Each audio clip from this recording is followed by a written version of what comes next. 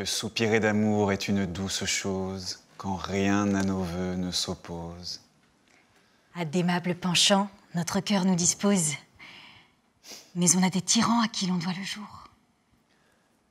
Que soupirer d'amour est une douce chose quand rien à nos voeux ne s'oppose. Aimons-nous donc d'une ardeur éternelle les rigueurs des parents, la contrainte cruelle, l'absence, les travaux, la fortune rebelle ne font que redoubler une amitié fidèle. Aimons-nous donc d'une ardeur éternelle. Quand deux cœurs s'aiment bien, tout le reste n'est rien. Mon Dieu, Eraste, gardons d'être surpris. Je tremble qu'on nous voit ensemble et tout serait perdu après la défense que l'on m'a faite. Je regarde de tous côtés et je n'aperçois rien. Et aussi l'œil au guet, Nérine, et prends bien garde qu'il ne vienne personne. Reposez-vous sur moi et dites hardiment ce que vous avez à vous dire. Avez-vous imaginé pour notre affaire quelque chose de favorable? Et croyez-vous, Eraste, pouvoir venir à bout de détourner ce fâcheux mariage que mon père s'est mis en tête? Au moins, y travaillons-nous fortement. Et déjà, nous avons préparé un bon nombre de batteries pour renverser ce dessin ridicule. Par ma foi Voilà votre père Ah, séparons-nous vite Non, non, non Je m'étais trompée. Mon Dieu Nérine, que tu es sotte de nous donner de ces frayeurs? Oui, belle Julie. Nous avons dressé pour cela quantité de machines et nous ne feignons point de mettre tout en usage sur la permission que vous m'avez donnée. Ne nous demandez point tous les ressorts que nous ferons jouer, vous en aurez le divertissement. Et comme aux comédies, il est bon de vous laisser le plaisir de la surprise et de ne vous avertir point de tout ce qu'on vous fera voir. C'est assez de vous dire que nous avons en main divers stratagèmes, tous prêts à produire dans l'occasion, et que l'ingénieuse Nérine et l'adroite Brigani entreprennent l'affaire. Assurément. Votre père se moque-t-il de vouloir vous engager de son avocat de Limoges, monsieur de Poursognac, qu'il n'a vu de sa vie, et qui vient par le coche vous enlever à notre barbe? Faut-il que trois ou quatre mille écus de plus, quoi, sur la parole de votre oncle, lui fasse rejeter un amant qui vous agrée? S'il a envie de se marier, hein, que ne prend-il une limousine? Et ne laisse-t-il en repos les chrétiens? Le seul nom de M. de Poursognac m'a mis dans une colère effroyable. J'enrage de M. de Poursognac. Quand il n'y aurait que ce nom-là, M. de Poursognac, j'y brûlerai mes livres ou je romprai ce mariage. Et vous ne serez point Madame de Poursognac. Poursognac Cela se peut-il souffrir? Non. Poursognac est une chose que je ne saurais supporter. Et nous lui jouerons tant de pièces, nous lui ferons tant de niches sur niches, que nous renverrons à Limoges Monsieur de Poursognac. Voici notre subtil napolitain qui nous dira des nouvelles. Monsieur, votre homme arrive. Je l'ai vu à trois lieues d'ici où a couché le coche, et dans la cuisine où il est descendu pour déjeuner, je l'ai étudié une bonne grosse demi-heure, et je le sais déjà par cœur. Pour sa figure, je ne veux point vous en parler, vous verrez de quel air la nature l'a dessiné, et si l'ajustement qui l'accompagne y répond comme il faut, mais pour son esprit, je vous avertis par avance qu'il est des plus épais qui se fassent, et que nous trouvons en lui une matière tout à fait disposée pour ce que nous voulons. Et qu'il est homme, enfin, à donner dans tous les panneaux qu'on lui présentera. Nous dis-tu vrai? Oui Si je me connais en gens Madame, voilà un illustre. Votre affaire ne pouvait être mise en de meilleures mains. Et c'est le héros de notre siècle pour les exploits dont il s'agit. Un homme qui, vingt fois en sa vie, pour servir ses amis, a généreusement affronté les galères, qui, au péril de ses bras et de ses épaules, sait mettre noblement à fin les aventures les plus difficiles, et qui, tel que vous le voyez, est exilé de son pays pour je ne sais combien d'actions honorables qu'il a généreusement entreprises. Je suis confus des louanges dont vous m'honorez. Et je pourrais vous en donner avec plus de justice sur les merveilles de votre vie, et principalement sur la gloire que vous acquitte lorsque, avec tant d'honnêteté, vous pipâtes au jeu pour 12 000 écus ce jeune seigneur étranger qu'on mena chez vous. Lorsque vous fîtes galamment ce faux contrat qui ruina toute une famille. euh, Lorsqu'avec tant de grandeur d'âme, vous souteniez le dépôt qu'on vous avait confié, et que si généreusement on vous vit prêter votre témoignage à faire pendre ces deux personnages qui n'avaient pas mérité. Ce sont petites bagatelles qui ne veulent pas qu'on en parle. Et vos éloges me font rougir. Ben, Je veux bien épargner votre modestie, laissons cela. Et pour commencer notre affaire, allons vite joindre notre provincial, et tandis que de votre côté, vous nous tiendrez prêts au besoin les autres acteurs de la comédie. Au moins, madame, souvenez-vous de votre rôle. Et pour mieux couvrir notre jeu, feignez, comme on vous a dit, d'être la plus contente du monde des résolutions de votre père. S'il ne tient qu'à cela, les choses iront à merveille. Mais, belle Julie, si toutes nos machines venaient à ne pas réussir, Je déclarerai à mon père mes véritables sentiments. et si, euh, contre vos sentiments, il s'obstinait à son dessein, Je le menacerai de me jeter dans un couvent. mais si malgré tout cela, il voulait vous forcer à ce mariage, Que voulez-vous que je vous dise? C'est ce que je veux que vous me disiez, Oui, ce qu'on dit quand on aime bien, mais quoi? Que rien ne pourra vous contraindre et que malgré tous les efforts d'un père, vous me promettez d'être à moi. Mon Dieu, Eraste, euh, contentez-vous de ce que je fais maintenant. Et n'allez point tenter sur l'avenir les résolutions de mon cœur. Ne fatiguez point mon devoir par les propositions d'une fâcheuse extrémité dont peut-être nous n'aurons pas besoin. Et, et s'il y faut venir, souffrez au moins que j'y sois entraîné par la suite des choses. Eh ben, Ma foi, voici notre homme. Songeons à nous. Comme il est bâti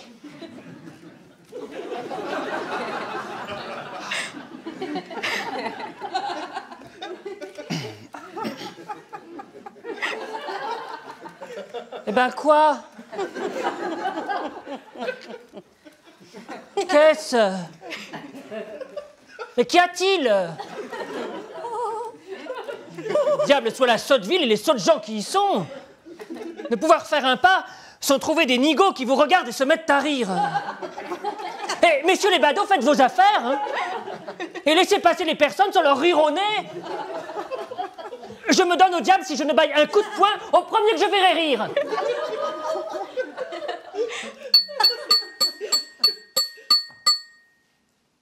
Eh bien, qu'est-ce que c'est, monsieur Hein Que veut dire cela? À qui en avez-vous Faut-il se moquer ainsi des honnêtes étrangers qui arrivent dans notre ville? Voilà un homme raisonnable, celui-là. procédé le vôtre. Eh, quoi Qu'avez-vous à rire euh? Fort bien. Monsieur a-t-il quelque chose de, de ridicule en soi? Oui. Est-il autrement que les autres? Suis-je tordu ou bossu? Alors apprenez à connaître les gens! C'est bien dit. Monsieur est d'une mine euh, à respecter. Cela est vrai. Personne de condition Euh, oui, gentilhomme limousin, et homme d'esprit. qui a étudié en droit, Il vous fait trop d'honneur de venir euh, dans votre ville. euh. sans doute. Monsieur n'est point une personne à faire rire. Assurément. Et quiconque aura envie de rire de lui aura affaire à moi. Monsieur, je vous suis infiniment obligé. Je suis fâché, monsieur, de voir recevoir de la sorte une personne comme vous. Je vous demande pardon pour, pour toute la ville.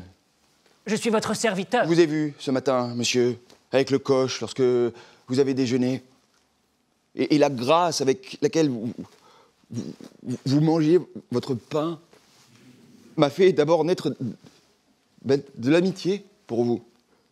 Et comme je sais que vous n'êtes jamais venu en ce pays, et que vous y êtes euh, tout neuf, je, je suis bien aise de vous avoir trouvé pour vous offrir mon service à votre arrivée. Et vous aider à vous conduire parmi ce, ce peuple qui n'a pas parfois pour les honnêtes gens toute la considération qu'il faudrait.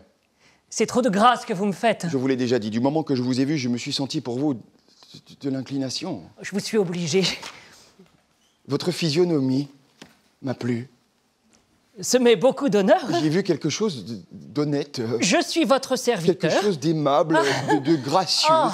de doux, non, de majestueux, de, Ah. de cordial. Ah. Et je vous assure, monsieur, que je suis tout à vous.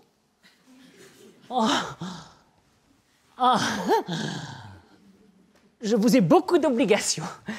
C'est du fond du cœur que je vous parle. Je le crois. Si j'avais l'honneur d'être connu de vous, vous sauriez que je suis un homme tout à fait sincère, Je n'en doute point. ennemi de la fourberie, J'en suis qui n'est persuadé. pas capable de déguiser ses sentiments. C'est ma pensée. Vous regardez mon ami qui n'est pas fait comme les autres. Mais je, je suis originaire de Naples. à votre service et j'ai voulu conserver un peu et la manière de s'habiller et la sincérité de mon pays. C'est fort bien fait. Pour moi, j'ai voulu me mettre à la mode de la cour pour la campagne. Ma foi, cela vous va mieux qu'à tous nos courtisans. Sans doute. C'est ce que m'a dit mon tailleur. L'habit est propre et riche et, et il fera du bruit ici. Sans doute. N'irez-vous pas au Louvre? Il faudra bien aller faire ma cour. Le roi sera ravi de vous voir. Je le crois. Avez-vous arrêté un logis? Non, j'allais en chercher un. Je serais bien aise d'être avec vous pour cela. Et je, je connais tout ce pays-ci. Qu'est-ce ci que vois-je? Quelle heureuse rencontre, monsieur de Poursognac, que je suis ravi de vous voir. Comment?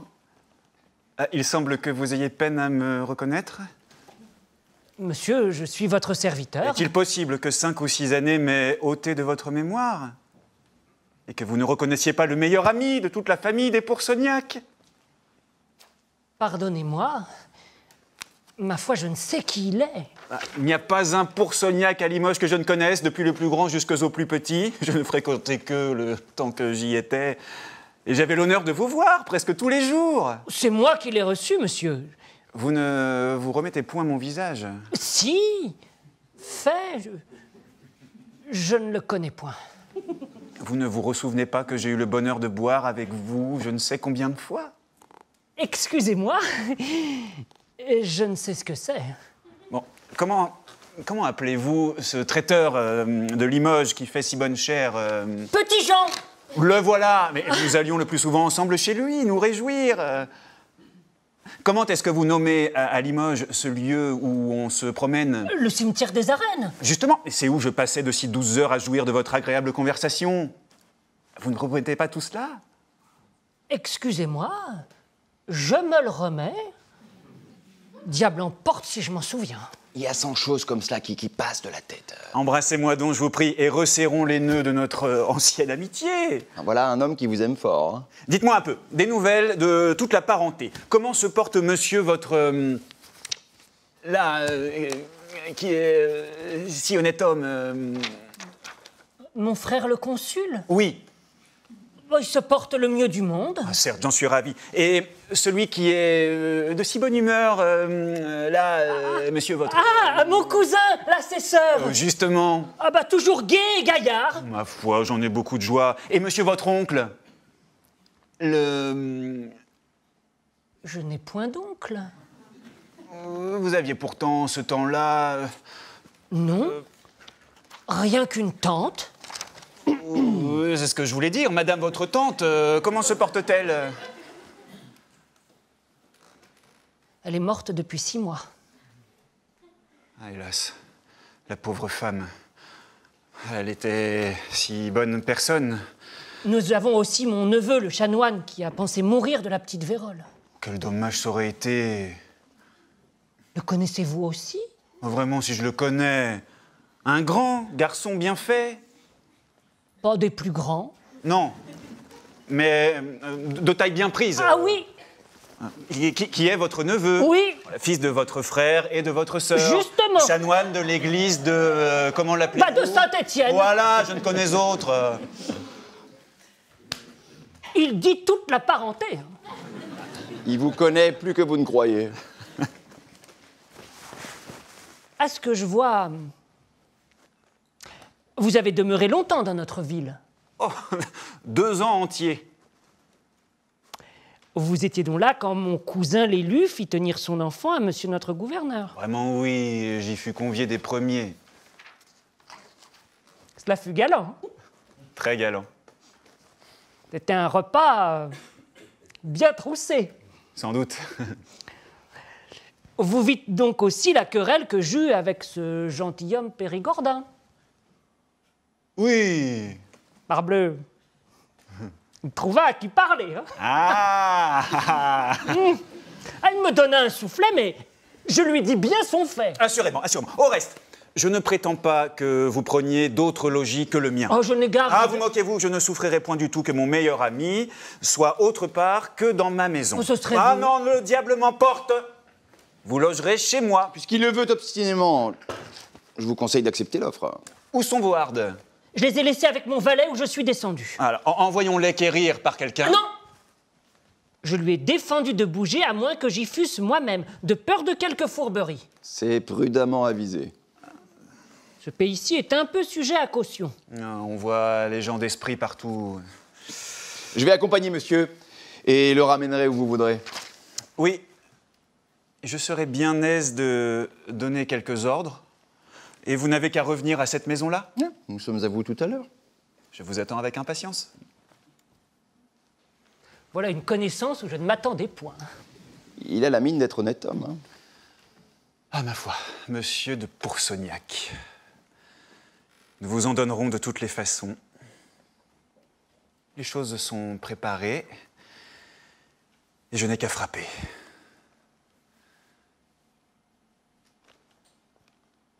Je crois, monsieur, que vous êtes le médecin à qui l'on est venu parler de ma part? Non, monsieur, ce n'est pas moi qui suis le médecin. À moi n'appartient pas cet honneur et je ne suis qu'apothicaire. Apothicaire indigne pour vous servir. Et monsieur le médecin, est-il à la maison? Oui, il est là, embarrassé à expédier quelques malades et je vais lui dire que vous êtes ici. Ah, Non, non, ne bougez, j'attendrai qu'il ait fait. C'est hum, pour lui mettre entre les mains certains parents que nous avons, dont on lui a parlé, et qui se trouvent attaqués de quelque folie, que nous serions bien aises qu'il pût guérir avant que de le marier. Je sais ce que c'est. Je sais ce que c'est. Et j'étais avec lui quand on lui a parlé de cette affaire. Ma foi, ma foi. Vous ne pouviez pas vous adresser à un médecin plus habile? C'est un homme qui sait la médecine à fond. Comme je sais ma croix de par Dieu et qui, quand on devrait crever, ne démordrait pas d'un iota des règles des anciens. Oui, il suit toujours le grand chemin, le grand chemin, et ne va point chercher midi à 14 heures. Et pour tout l'or du monde, il ne voudrait point avoir guéri une personne avec d'autres remèdes que ceux que la faculté permet. Il fait fort bien, un malade ne doit point vouloir guérir que la faculté n'y consente. Ce n'est pas parce que nous sommes grands amis que j'en parle, mais il y a plaisir, il y a plaisir d'être son malade. Et j'aimerais mieux mourir de ses remèdes que de guérir de ceux d'un autre. Car, quoi qu'il puisse arriver, on est assuré que les choses sont toujours dans l'ordre. Et quand on meurt sous sa conduite, vos héritiers n'ont rien à vous reprocher. C'est une grande consolation pour un défunt. Assurément. On est bien aise au moins d'être mort méthodiquement. Au reste, il n'est pas de ces médecins qui marchandent les maladies. C'est un homme expéditif qui aime à dépêcher ses malades. Et quand on a à mourir, cela se fait avec lui le plus vite du monde. En effet, il n'est rien tel que de sortir promptement d'affaires. Cela est vrai. À quoi bon tant barguiner et tant tourner autour du pot? Il faut savoir vitement le court et le long d'une maladie. Vous avez raison. Voilà déjà trois de mes enfants dont il m'a fait l'honneur de conduire la maladie, qui sont morts en moins de quatre jours et qui, entre les mains d'un autre, auraient langui plus de trois mois. Et il est bon d'avoir des amis comme cela? Sans doute. Il ne me reste plus que deux enfants dont il prend soin comme des siens. Et il les traite et gouverne à sa fantaisie, et sans que je ne me mêle de rien. Et le plus souvent, quand je reviens de la ville, je suis tout étonnée que je les trouve saignés ou purgés par son ordre. Voilà des soins fort obligeants. Le voici. Le voici. Le voici qui vient. Monsieur, il n'en peut plus et il dit qu'il sent dans la tête les plus grandes douleurs du monde. Mais le malade est un sot. D'autant plus que dans la maladie dont il est attaqué, ce n'est pas la tête, selon Galien, mais la rate qui lui doit faire mal. Quoi que c'en soit, monsieur, il a toujours avec cela son cours de ventre depuis six mois. Bon, c'est signe que le dedans se dégage. Je l'irai visiter dans deux ou trois jours. Mais s'il mourait avant ce temps-là, ne manquez pas de m'en donner avis, car il n'est pas de la civilité qu'un médecin visite un mort. Mon père, monsieur, est toujours malade, de plus en plus. Mais ce n'est pas ma faute. Je lui donne des remèdes, que ne guérit-il Combien a-t-il été saigné de fois? 15, monsieur Depuis 20 jours 15 fois Saigné? Oui Et il ne guérit point? Non, monsieur. Ah, C'est signe que la maladie n'est pas dans le sang. Nous le ferons purger autant de fois pour voir si elle n'est pas dans les humeurs. Et si rien ne nous réussit, nous l'enverrons au bain.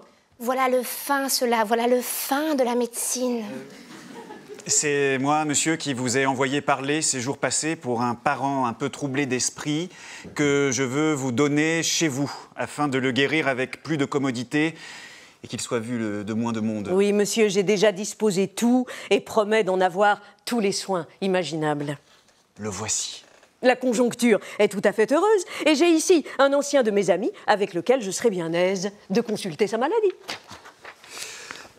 Une petite affaire m'est survenue qui m'oblige à vous quitter.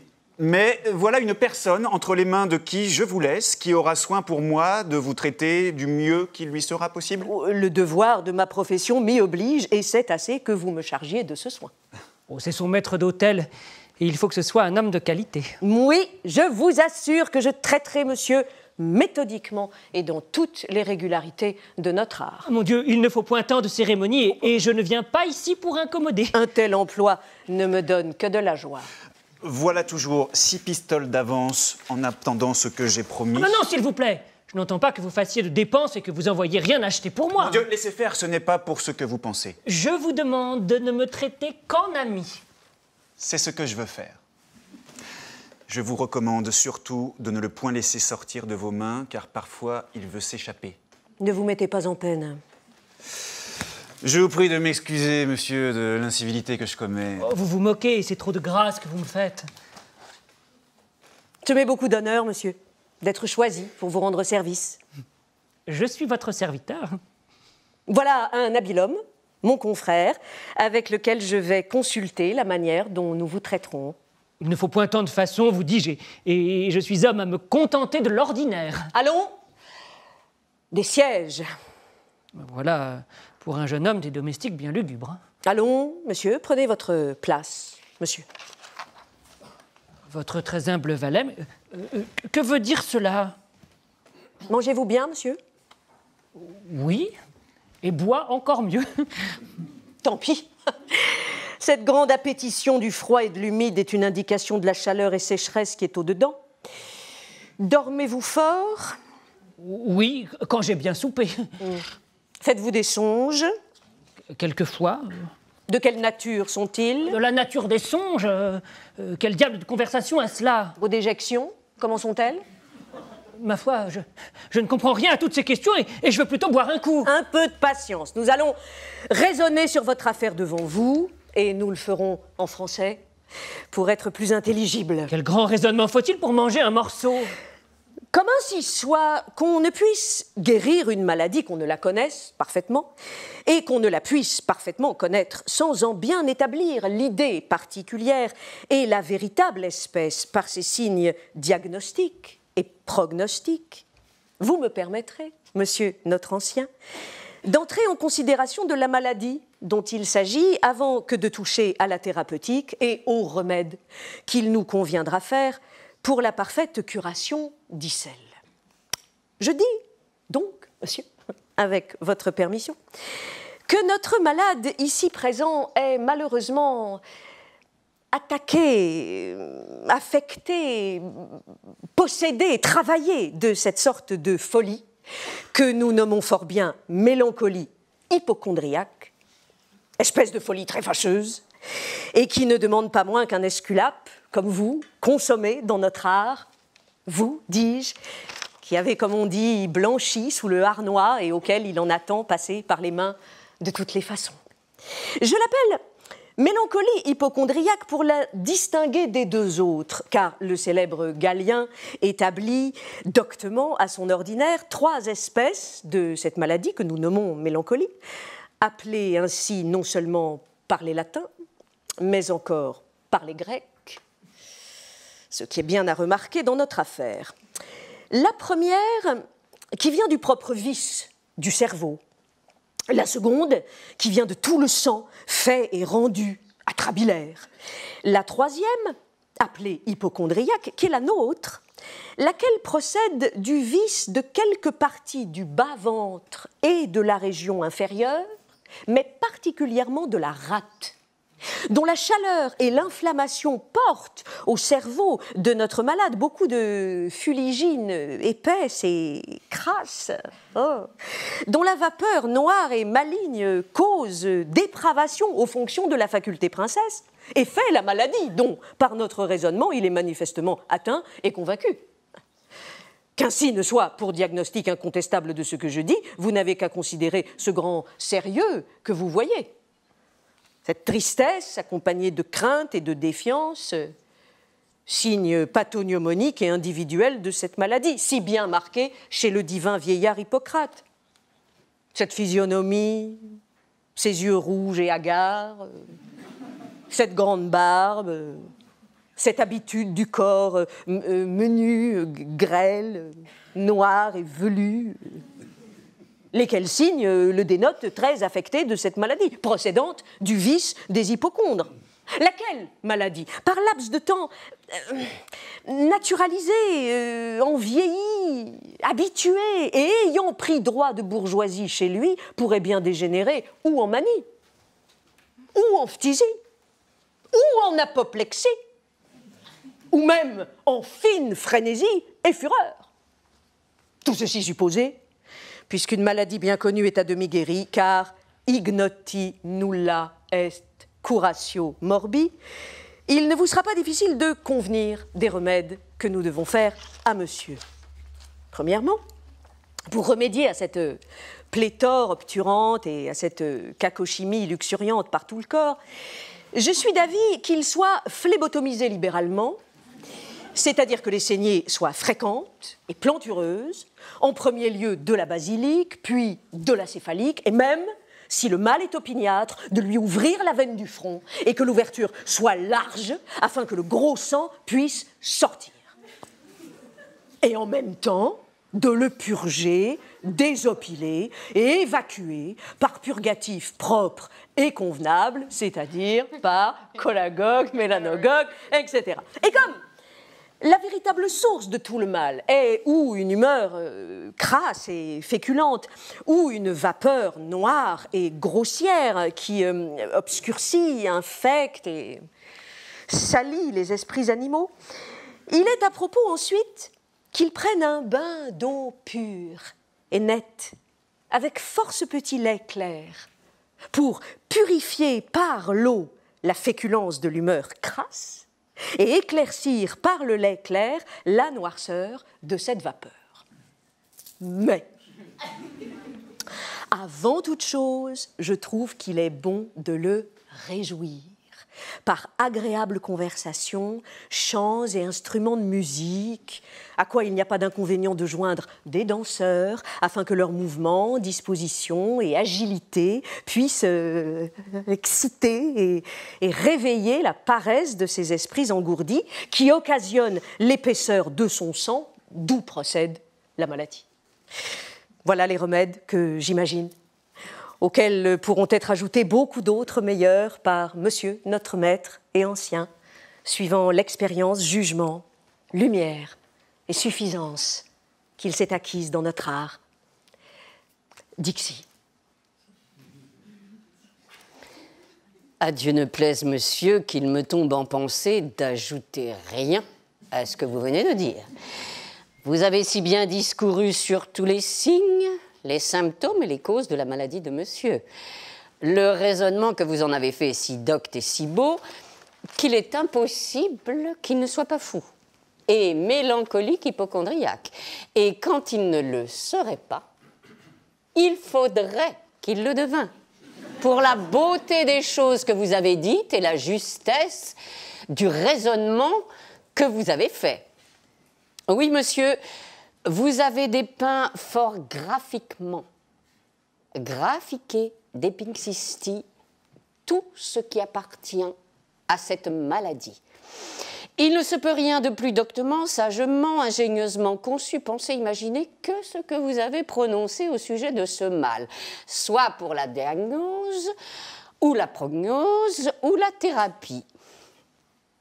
Et il ne me reste rien ici que de féliciter monsieur, d'être tombé entre vos mains et de lui dire qu'il est trop heureux d'être fou pour éprouver l'efficace et la douceur des remèdes que vous avez si judicieusement proposés. Je les approuve tous. Manibus et pedibus discendo intuan sententiam.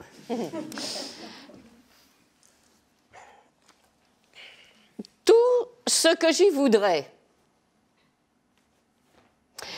c'est de faire les saignées et les purgations en nombre impair. Numéro Deus impari gaudet. De prendre le lait clair avant le bain, de lui composer un fronton où il entre du sel, le sel est symbole de la sagesse, de faire blanchir les murailles de sa chambre pour dissiper les ténèbres de ses esprits, album est disgregatibum sibuisus. Et de lui donner tout à l'heure un petit lavement pour servir de prélude et d'introduction à ces judicieux remèdes dont s'il a à guérir, il doit recevoir du soulagement. Fasse le ciel que ces remèdes, monsieur, qui sont les vôtres, réussissent aux malades selon notre intention. Messieurs, il y a une heure que je vous écoute. Est-ce que nous jouons une comédie? Non, monsieur, nous ne jouons point. Qu'est-ce que tout ceci est Et que voulez-vous dire avec votre galimatia et vos sottises? Bon, dire des injures. Voilà un diagnostic qui nous manquait pour la confirmation de son mal. Et ceci pourrait bien tourner en manie.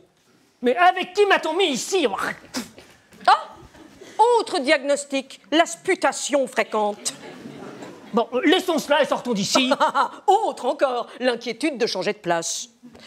Qu'est-ce donc que toute cette affaire et que me voulez-vous? Vous guérir, selon l'ordre qui nous a été donné.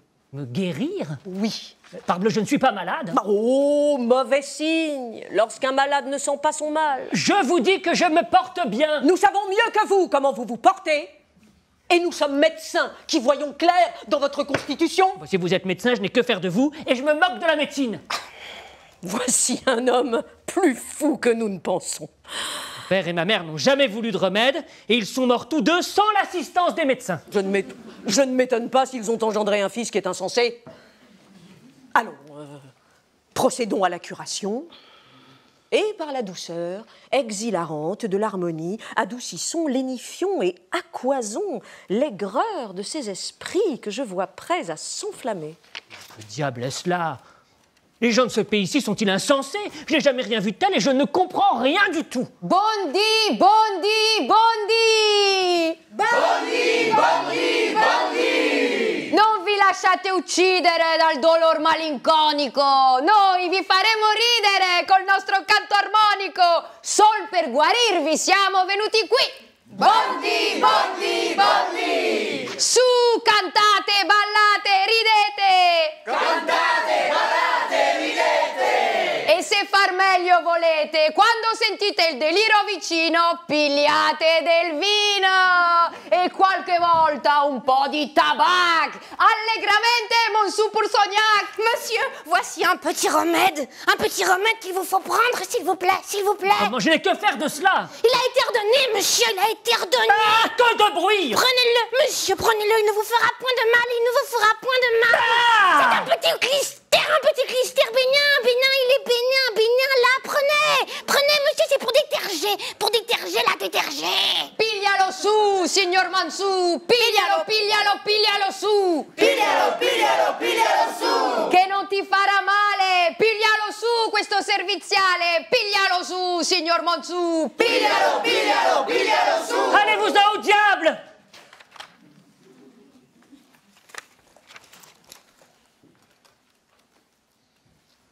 Il a forcé tous les obstacles que j'avais mis. Et c'est dérobé au remède que je commençais de lui faire. C'est être bien ennemi de soi-même que de fuir des remèdes aussi salutaires que les vôtres. Hein. Marque d'un cerveau démonté et d'une raison dépravée que de ne vouloir pas guérir. Vous l'auriez guéri haut la main. Sans doute. Quand il y aurait eu complications de pff, 12 maladies. Cependant, voilà 15 pistoles bien acquises qui vous fait perdre. hein. Moi? Ah, Je n'entends point les perdre et prétends le guérir en dépit qu'il en est. Il est lié et engagé à Mermed et je veux le faire saisir où je le trouverai comme déserteur de la médecine et infracteur de mes ordonnances. Vous avez raison. Vos remèdes étaient un coup sûr et c'est de l'argent qui vous vole. Où puis-je en avoir des nouvelles? Chez le bonhomme Oronte, assurément. Dont il vient épouser la fille. Et qui, ne sachant rien de l'infirmité de son gendre futur, voudra peut-être se hâter de conclure le mariage. Je vais lui parler tout à l'heure. Vous ne ferez point mal. Il est hypothéqué à mes consultations.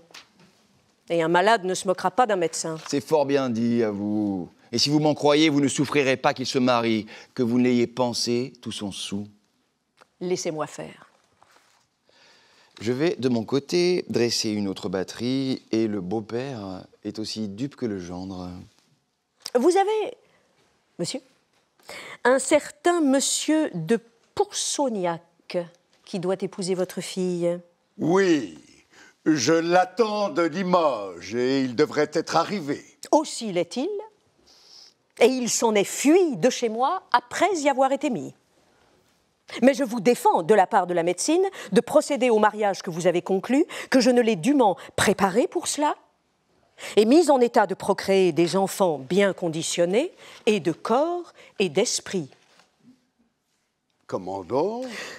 Votre prétendu gendre a été constitué mon malade. Sa maladie qu'on m'a donnée à guérir est un meuble qui m'appartient et que je compte entre mes effets. Et je vous déclare que je ne prétends point qu'il se marie qu'au préalable, il n'est satisfait à la médecine et subit les remèdes que je lui ai ordonnés. Il a quelque mal?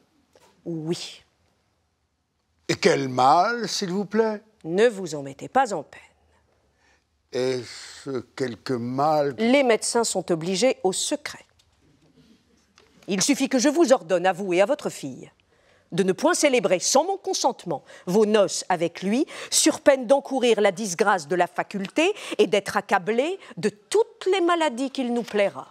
Je n'ai garde si cela est de faire le mariage. On me l'a mis entre les mains et il est obligé d'être mon malade. À la bonne heure. Il a beau fuir, je le ferai condamner par arrêt à se faire guérir par moi. J'y consens. Oui Il faut qu'il crève Ou que je le guérisse Je le veux bien. Et si je ne le trouve Je m'en prendrai à vous et je vous guérirai au lieu de lui. Je me porte bien. Il m'importe. Il me faut un malade et je prendrai qui je pourrai. Mais prenez qui vous voudrez, mais ce ne sera pas moi. Voyez un peu la belle raison.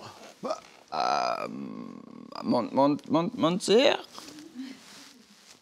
euh, avec le- votre permission, euh, je suis un trancheur marchand flamand qui voudrait bien vous démentir? Une petite nouvelle. Euh, euh, quoi, monsieur? Mettez le votre chapeau sur le test, euh, mentir, s'il vous plaît. Euh, Dites-moi, monsieur, ce que vous voulez. Moi, ne dire rien, mentir, si vous ne mettre pas le chapeau sur le test. Soit. Qu'y a-t-il Monsieur, Faut connaître point en style un certain monsieur errante. oui, je le connais. Et quel homme est-il, monsieur, s'il vous plaît C'est un homme euh, comme les autres. Je vous demande, monsieur, s'il est un homme riche qui a du bien, hein? Ouais. mais riche. Beaucoup, grandement, monsieur. Ouais. J'en suis bien aise, beaucoup, monsieur. Et mais pourquoi cela? Laisse, monsieur, pour une petite raison de conséquence. Pardon Mais encore pourquoi? Laisse, monsieur. Qu'est-ce que monsieur Ronte euh, donne sa fille en mariage à un certain monsieur de Porcegnac Eh bien, Estime monsieur de Porcegnac, monsieur, est un homme que doivent beaucoup grandement à six ou douze marchands flamands qui est revenu ici ce monsieur de Poursognac doit beaucoup à 10 ou 12 marchands. Oui, monsieur. Et depuis huit mois, nous avoir obtenir une petite sentence euh, contre lui et à remettre à payer tous ses créanciers. D'esti mariage qu'estime monsieur errante euh, donne pour ce fille. Mmh.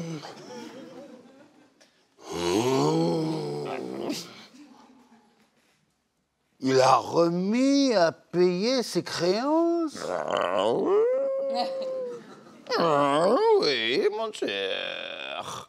Avec une grande dévotion, nous tous attendre ce mariage. euh, La vie n'est pas mauvaise. Je vous donne le bonjour. Je remercie, monsieur, de la faveur qu'on a.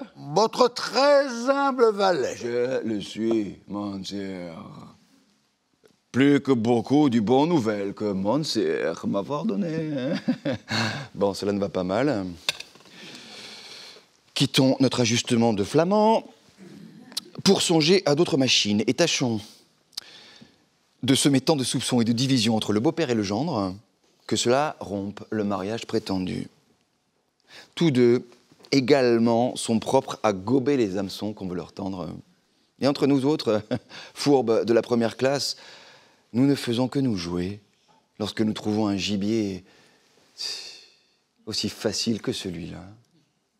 Piglia lo su, piglia lo su, signor Monsou, piglia lo su, signor Monsou. Mais que diable est cela? Ah Wow, qu'est-ce, monsieur Qu'avez-vous? Tout ce que je vois me semble lavement. Comment? Vous ne savez pas ce qui m'est arrivé dans ce logis à la, porte- à la porte duquel vous m'avez conduit? Non, vraiment, qu'est-ce que c'est? Je pensais y être régalé comme il faut. Eh bien, Je vous laisse entre les mains de monsieur. Des médecins habillés de noir, dans une chaise, tâter le pouls, comme un soir, il est fou, deux gros joufflus, grand chapeau, bondi, bondi, six pantalons, taratata, taratata et allégramenté, monsieur Poursognac, apothicaire, lavement, prenez monsieur, prenez, prenez, il est bénin, bénin, bénin, c'est pour déterger, pour déterger, déterger, pilier sous, Seigneur Moussou, pilier sous, Seigneur Moussou, pilier le sous, pilier le sous, jamais je n'ai été si sous de sottise. qu'est-ce que, qu'est-ce que tout cela veut dire? Cela veut dire que cet homme-là, avec ses grandes embrassades, est un fourbe qui m'a mis dans une maison pour se moquer de moi et me faire une pièce. Cela est-il possible? Sans doute Ils étaient une douzaine de possédés après mes chausses. Et j'ai eu toutes les peines du monde à m'échapper de leurs pattes. Ah, Voyez un peu? Les mines sont bien trompeuses, je l'aurais cru le plus affectionné de vos amis. Voilà un de mes étonnements. Comme il est possible qu'il y ait des fourbes comme cela dans le monde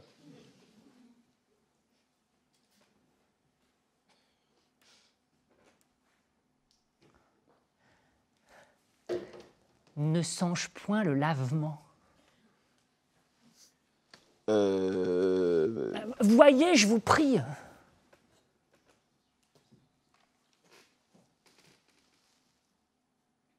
Ah oui, il y a bien quelque chose un peu qui approche de cela. oui. J'ai l'odorat et l'imagination tout remplis de cela. Et il me semble toujours que je vois une douzaine de lavements qui me couchent en joue. Voilà une méchanceté bien grande. Et les hommes sont bien traîtres et scélérats. Enseignez-moi de grâce le logis de Monsieur Oronte. Je suis bien aise d'y aller tout à l'heure. Ah. euh. Ah. Ah, vous êtes de complexion amoureuse. Et vous avez, oui, parlé de ce monsieur Oronte euh, qui a une fille Oui, je viens l'épouser. Par- De quoi L'épouser? Oui en, ma- en mariage? De quelle façon donc? Euh, c'est une autre euh, chose. Je, je- je vous demande pardon. Qu'est-ce que cela veut dire? Rien, rien. Ah, Mais encore Rien, vous dis-je. J'ai, j'ai un peu parlé euh, trop vite. Non, Je vous prie de me dire ce qu'il y a là-dessous. Non, cela n'est pas De nécessaire. grâce Point, je, je- je- je vous prie de m'en dispenser. Est-ce que vous n'êtes pas de mes amis? S'il fait, est-ce qu'on ne peut pas l'être davantage? Vous devez donc ne me rien cacher. Mais c'est une chose euh, où où il y va de, de l'intérêt du prochain. Afin de vous obliger à m'ouvrir votre cœur, voilà une petite bague que je vous prie de garder pour l'amour de moi.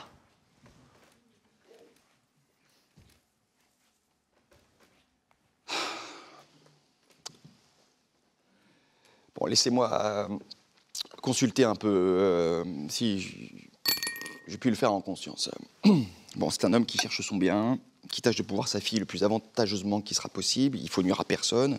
Ce sont des choses qui sont connues à la vérité, mais moi j'irai les découvrir à un homme euh, qui les ignore. hein. Il est défendu de scandaliser son prochain. Bon, ça est vrai. Mais d'autre part, voilà un étranger qu'on veut surprendre, qui donne de bonne foi. Il vient se marier avec une fille qu'il connaît pas, qu'il a jamais vue. Un gentilhomme plein de, plein de franchise, pour qui je sens de l'inclination, qui, qui prend confiance en moi, me donne une bague à garder pour l'amour de lui. Ah oui, oui, oui. Je trouve que je puis vous dire les choses sans blesser ma conscience. Mais tâchons de vous les dire le plus doucement qui vous sera possible. Et d'épargner les gens le plus que nous pourrons. De vous dire que cette fille-là mène une vie déshonnête, cela serait un peu trop fort. Cherchons pour nous expliquer quelques termes euh, plus doux. Le mot de, de galante n'est pas, n'est pas assez. Celui de de, de, coquette euh, achevée me semble propre à ce que nous voulons et je puis m'en servir pour vous dire honnêtement ce qu'elle est. L'on me veut donc prendre pour dupe. Non mais peut-être dans le fond, n'y a-t-il pas tant de mal que tout le monde croit? Et puis il y a des gens, après tout, qui se mettent au-dessus de ces sortes de choses et qui ne croient pas que, que- que leur honneur dépend... Non, de- je suis votre serviteur. Je ne me veux point mettre sur la tête un chapeau comme celui-là. Et l'on aime aller le front levé dans la famille des Poursognac. Alors, vo- voilà, voilà le, le père. Ce vieillard, là? Euh, oui. Je me retire.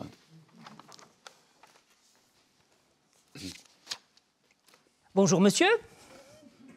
Bonjour Serviteur, monsieur, serviteur.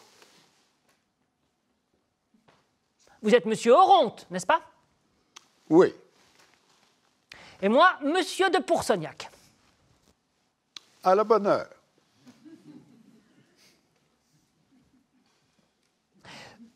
Croyez-vous, monsieur Oronte, que les Limousin soient des sots?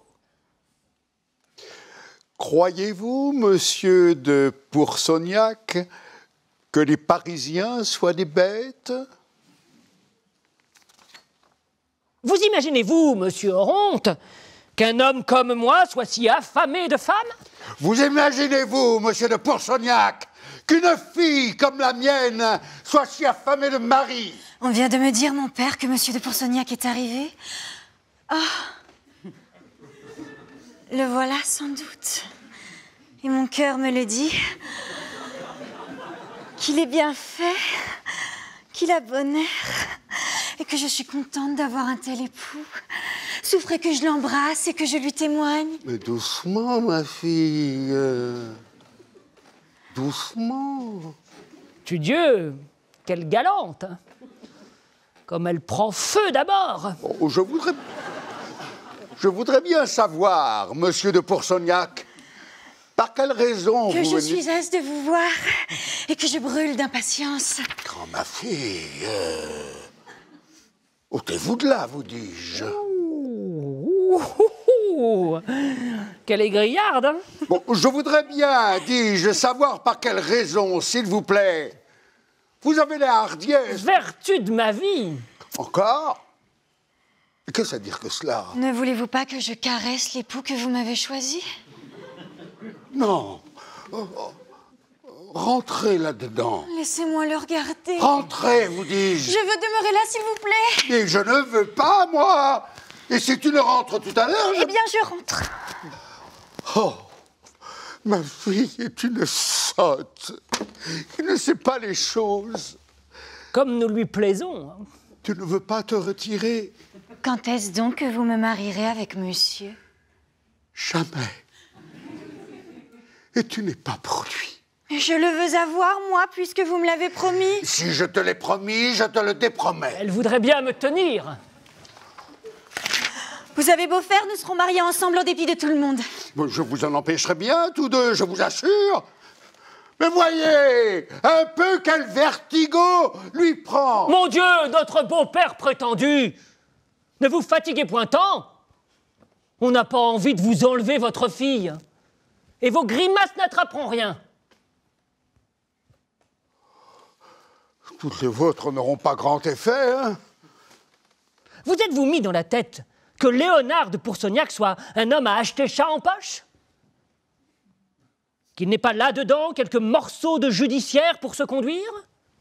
Pour se faire informer de l'histoire du monde et voir en se mariant si son honneur a bien toutes ses sûretés Bon, je ne sais pas ce que cela veut dire, mais vous êtes-vous mis dans la tête qu'un homme de 63 ans ait si peu de cervelle et considère si peu sa fille que de la marier avec un homme qui a ce que vous savez et qui a été mis chez un médecin pour être pensé C'est une pièce que l'on m'a faite. Je n'ai aucun mal. Le médecin me l'a dit, lui-même.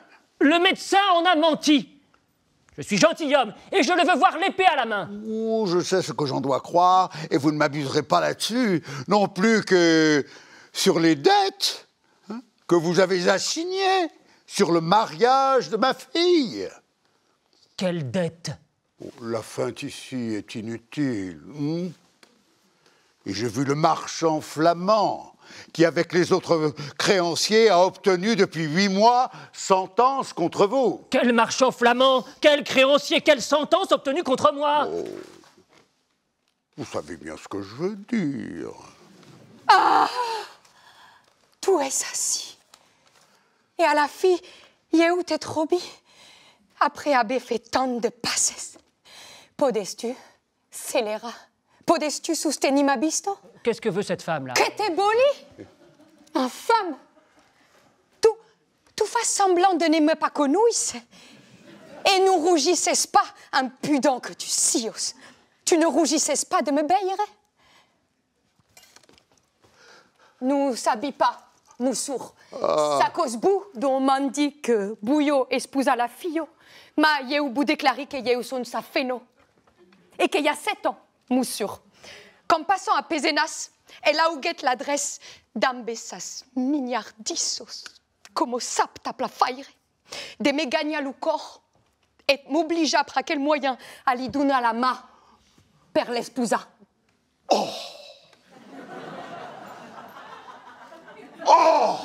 Que diable est-ce Lu traité, mais qui était 13 ans après, sous le prétexte de calques a faires qu'elle appelle la bonne dans son pays, et d'espèce, nous lirez ça au de caso de nouvelles.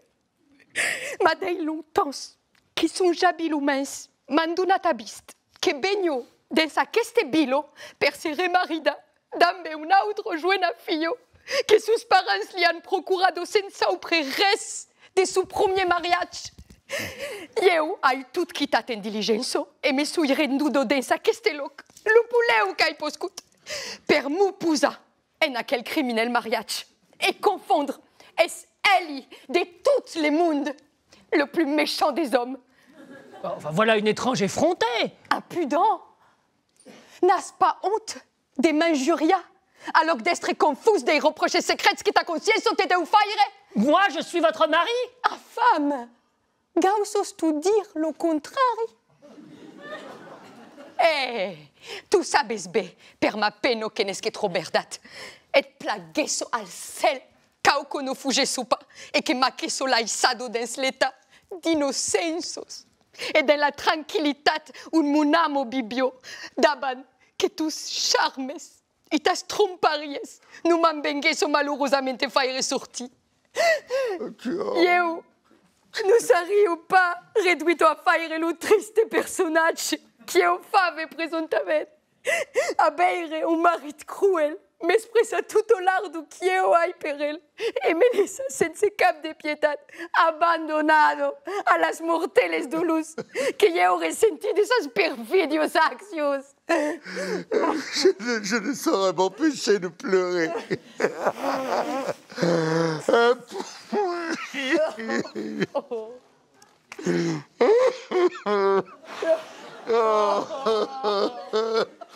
Allez, allez, vous êtes un, un méchant homme. Je ne connais rien à tout ceci. Ah Ah, je n'en puis plus Je suis tout essoufflée Ah Femme pharaon Tu m'as bien fait courir. Tu ne m'écaperas ni Justice Justice. Je boute empêchement au mariage. Chez mon mairie Monsieur. Et je veux faire peindre ce bon pindard là. Encore? Mais quel diable d'homme est ceci?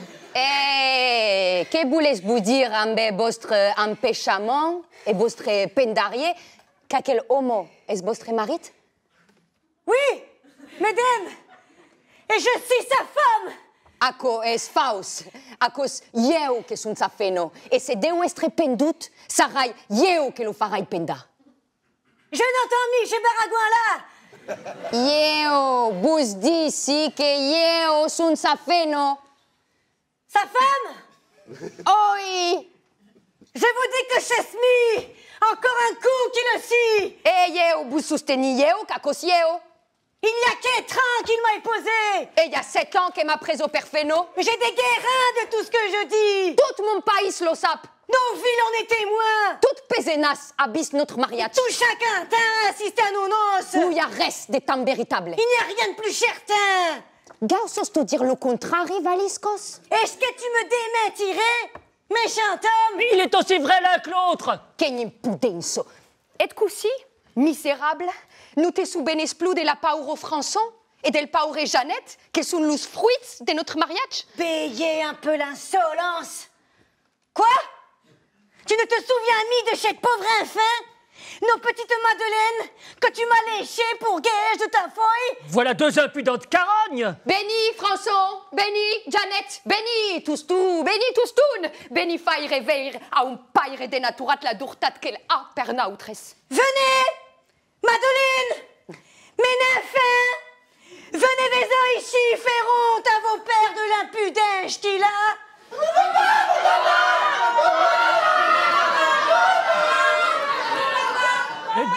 Diantre reçoit des petits-fils de putain Così, traite. Tu n'osios pas dans la dernière confusion de resaupre atal tous enfants et de faire mal à oreille à la tendresse paternelle Tu ne m'escaperas pas. Eu te bolisegui per tout et te reproche à ton crime jusqu'à ce temps que me sio baignado et que t'aio fait peña.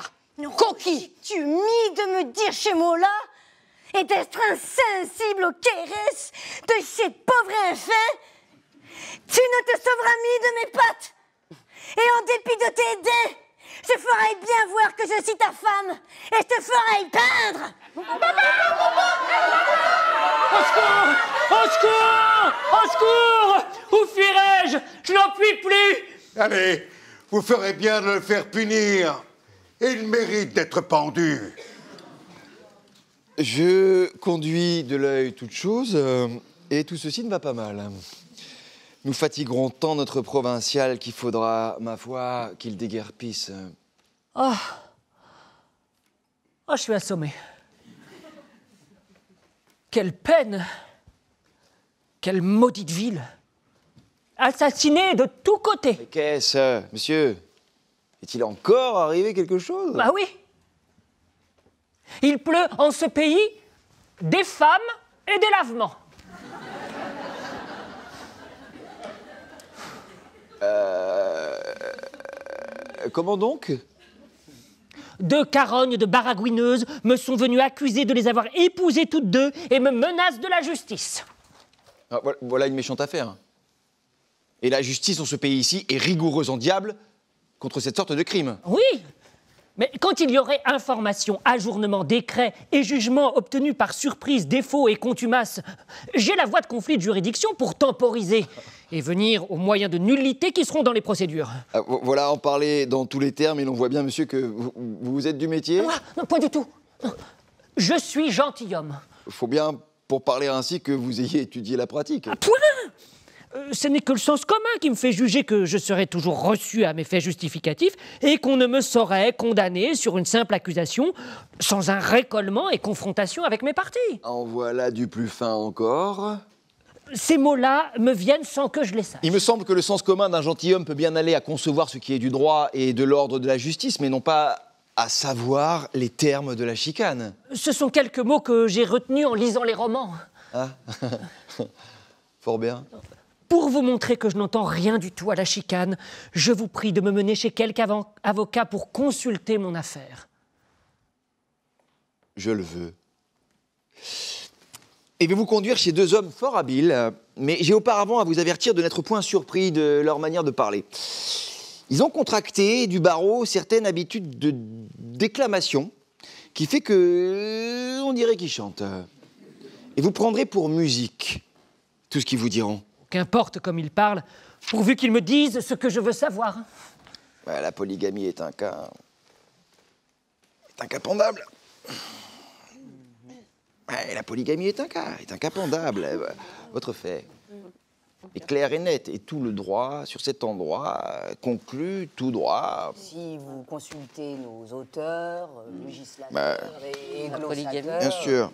Justinien, Papignan, euh, Ulpignan et Tribonian. Mais bien sûr. Ah, Fernand, Fernand, Rebuff, euh, Jean Imol, Paul, Castres, Julien, Bartol, Jason, Alcial et, et Cujas, ce grand homme si capable. La polygamie, polygamie est est un un cas, cas- est est un cas pendable. pendable. Tous les peuples français, euh, eh bien, eh bien censés, les, les François, euh, anglois, euh, Anglois. hollandois, danois, suédois, polonois. Et les Portugais.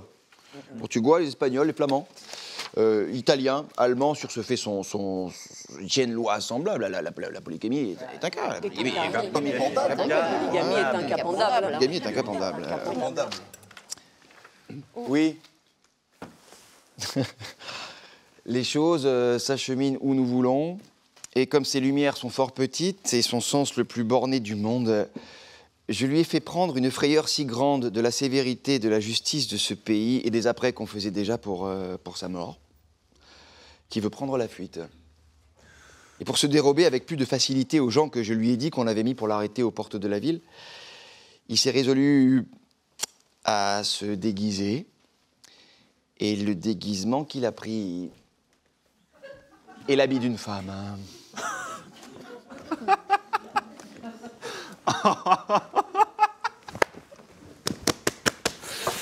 Ah, je voudrais bien le voir dans cet équipage. Songez de votre part à achever la comédie. Et tandis que je jouerai mes scènes avec lui, allez-vous-en. euh, vous, vous- vous- vous- vous entendez bien? Oui. Et lorsque je l'aurai mis où je veux, bien, fort bien. et quand le père aura été averti par moi. va, le mieux du monde. Ah, voici notre demoiselle. Allez, vite, qu'il nous nous voit ensemble.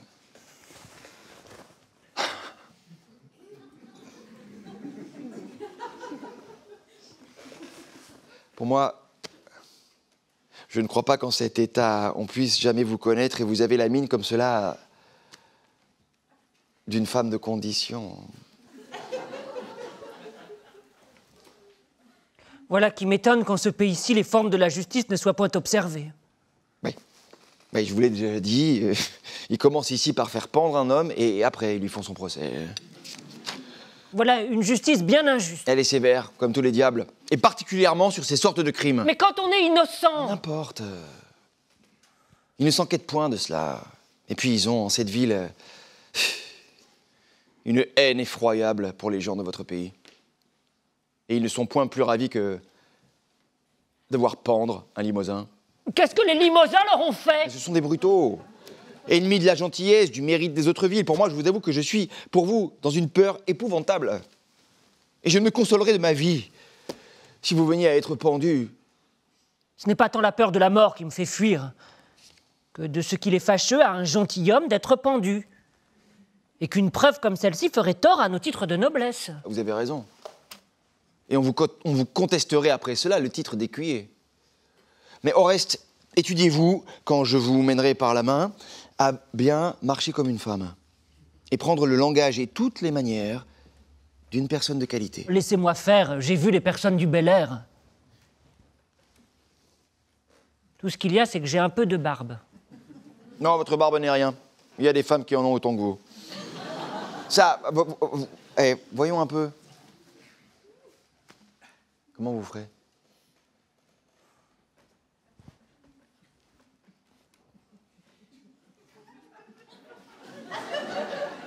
Bon, bon, bon, bon.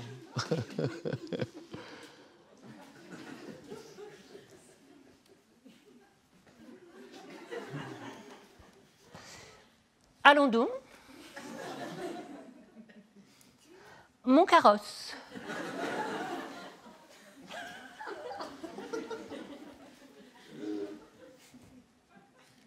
Où est-ce qu'est mon carrosse? Mon Dieu. Ouh. On est misérable d'avoir des gens comme cela. Est-ce qu'on me fera attendre toute la journée sur le pavé et qu'on ne me fera point venir mon carrosse? Oh, c'est fort bien. Voilà. Oh. Cocher? Petit laquais? Petit fripon que de coups de fouet je vous ferai donner tantôt. Petit laquais? Petit laquais. Où est-ce donc qu'est ce petit laquais?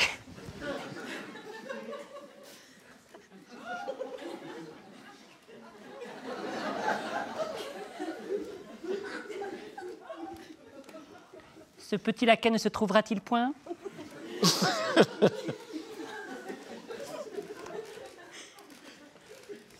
Ne me fera-t-on point venir ce petit laquais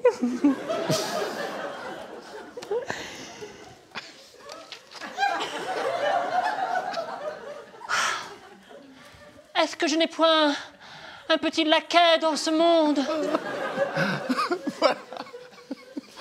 Voilà qui m'a à merveille. Mais je, je remarque une chose, cette, euh, cette euh, coiffe est un, un- un peu trop déliée.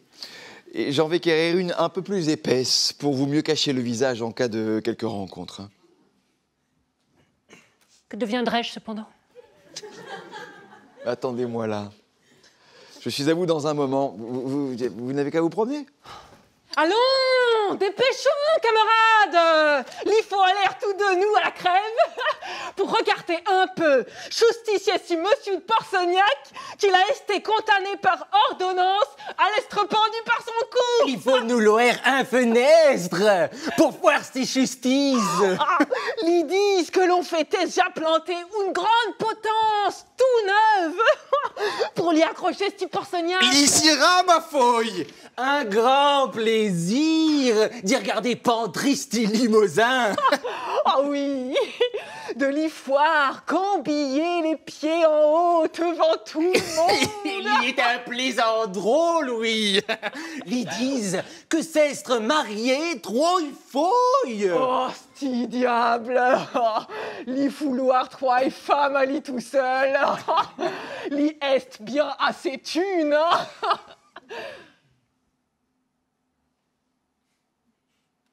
Ah. Bonjour, mademoiselle. Que faire fou cela tout seul? J'attends mes gens, Die messieurs. est belle, ma feuille. Euh, Doucement, messieurs. Fous, mademoiselle Vouloir finir réchouir Fous à la crève? Nous faire foire à Fous un petit pantement pienne choli. Je vous rends grâce. Laisse un gentilhomme limousin qui sera pendu chantiment à un grand potence. Je n'ai pas de curiosité. Li est là un petit téton qui l'est drôle? Tout beau, hein? Mon foi, moi coucher pienne avec Fous. Ah, c'en est trop. euh, Et ces sortes d'ordures-là ne se disent point à une femme de ma condition. Laisse-toi. Les moi qui le veux coucher avec elle. Moi ne vouloir pas laisser. Moi, il y vouloir, moi. Moi, il ne faire rien. Toi, il avoir menti. Toi, il l'avoir menti, toi, il mesme. Au secours À la force Qu'est-ce? Quelle violence est cela? Et que voulez-vous faire à madame? Allons, que l'on sorte de là si vous ne voulez que je vous mette en prison. Parti, pont. Toi, il ne l'avoir point. hein. Parti, pont aussi. Toi, il ne l'avoir point encore. Je vous suis bien obligé, monsieur, de m'avoir délivré de ces insolents. Ouais. Voilà un visage qui ressemble bien à celui que l'on m'a dépeint. Ah, c'est pas moi, je vous assure. Qu'est-ce que je veux dire? Je ne sais pas. Pourquoi donc dites-vous cela? Pour rien. Voilà un discours qui marque quelque chose et je vous arrête prisonnier. Ah, monsieur, de grâce. Non, non, non, à votre mine et à vos discours. Il faut que vous soyez ce monsieur de Poursognac que nous cherchons, qui se soit déguisé de la sorte, et vous viendrez en prison tout à l'heure. Hélas Ah, ciel, que, que veut dire cela? Ils m'ont reconnu Oui, oui, c'est de quoi je suis ravi. Euh, Monsieur, pour l'amour de moi, vous savez que nous sommes amis il y a longtemps, je vous conjure de ne le point mener en prison. Non, il m'est impossible. Vous, vous êtes homme d'accommodement. N'y a-t-il pas moyen d'ajuster cela avec, euh, avec quelques pistoles? Retirez-vous un peu. Il faut lui donner de l'argent pour vous laisser aller. Hum? Allez, faites vite. Ah, maudite ville. Ouais, tenez, monsieur. Combien y a-t-il? Euh, 1, 2, 3, 4, 5, 6, 7, 8, 9 et euh, 10. Non, mon ordre est trop exprès. Mon Dieu. Allez, attends, attends, attendez, dépêchez. Donnez-lui encore autant. Mais euh, Dépêchez-vous Vous dis-je Et ne perdez point de temps Vous auriez un grand plaisir quand vous seriez pendu ah, Tenez, monsieur. Il faut donc que je m'enfuie avec lui, car il n'y aurait point ici de sûreté pour moi. Laissez-le-moi conduire et ne bougez d'ici. Je, je vous prie d'en avoir un grand soin. Je vous promets de ne le point quitter, que je ne l'ai mis en lieu de sûreté. adieu. Voilà le seul honnête homme que j'ai trouvé en cette ville. Ne perdez point votre temps. Je vous aime tant que je voudrais que vous fussiez déjà bien loin. Ah, que le ciel te conduise. Par ma foi, voilà une grande dupe, mais voici. euh, Ah,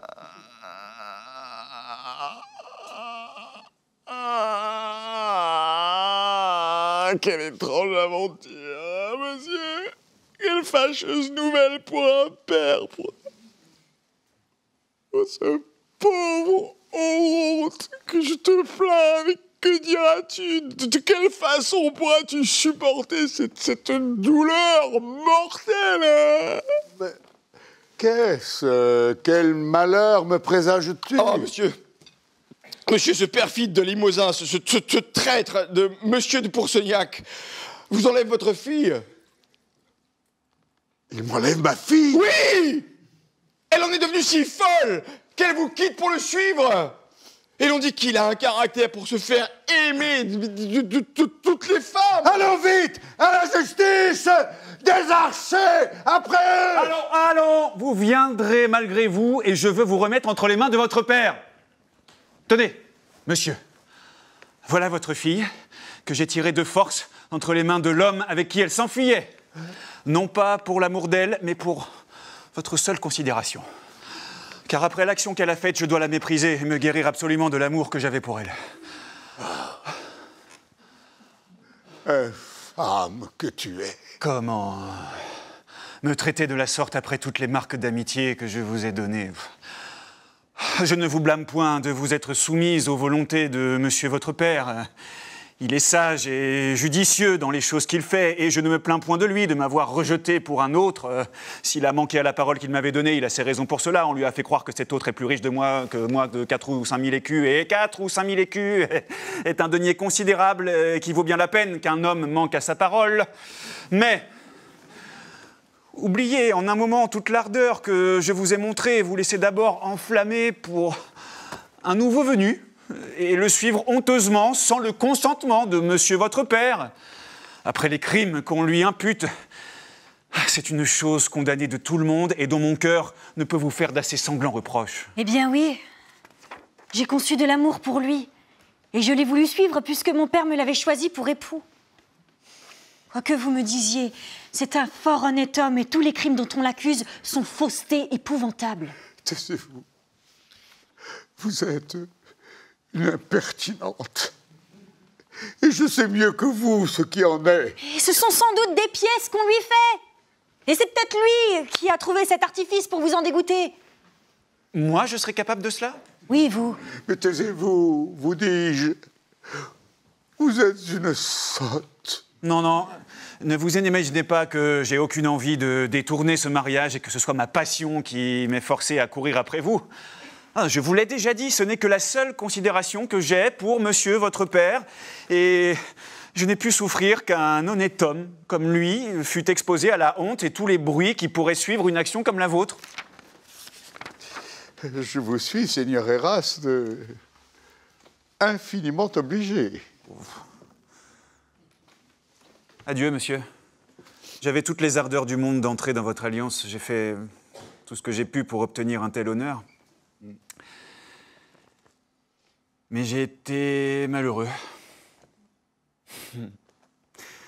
Et vous ne m'avez pas jugé digne de cette grâce. Cela n'empêchera pas que je ne conserve pour vous les sentiments d'estime et de vénération où votre personne m'oblige et si je n'ai pu être votre gendre, au moins serai-je éternellement votre serviteur. Arrêtez, Seigneur Eraste. Votre procédé me touche l'âme. Et je vous donne ma fille en mariage. Je ne veux point d'autre mari que monsieur de Poursognac. Et je veux, moi, tout à l'heure, que tu prennes le Seigneur Eraste. Ça, la main. Non, je n'en ferai rien. Je te donnerai sur les oreilles. Non, non, monsieur, ne lui faites point violence, je vous en prie. Enfin, c'est à elle à m'obéir. Et je sais me montrer le maître. Ne voyez-vous pas l'amour qu'elle a pour cet homme-là? Et voulez-vous que je possède un corps dont un autre possédera le cœur? C'est un sortilège qu'il lui a donné, et vous verrez qu'elle changera de sentiment avant qu'il soit peu. Donnez-moi votre main. Allons. Je. Ah, que de bruit Ça, votre main, vous dis-je.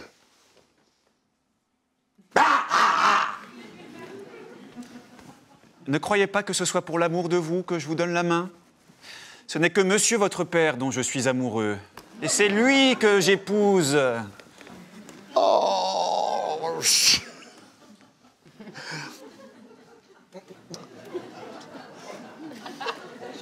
Je vous suis beaucoup obligé.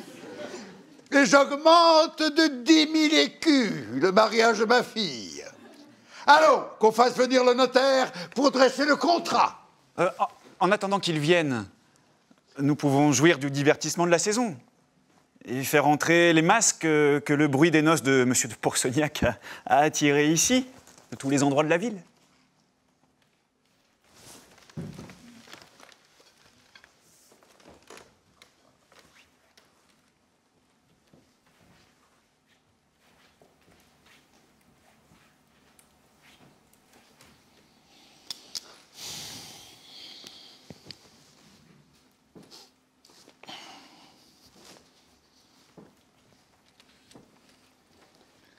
Sortez.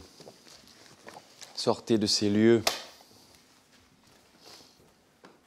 Soucis, chagrin et tristesse. Et venez. Venez. Ris et jeux. Plaisir, amour et tendresse. Ne songeons qu'à nous réjouir. La grande affaire et le plaisir. Ne songeons qu'à nous réjouir. La grande affaire et le plaisir.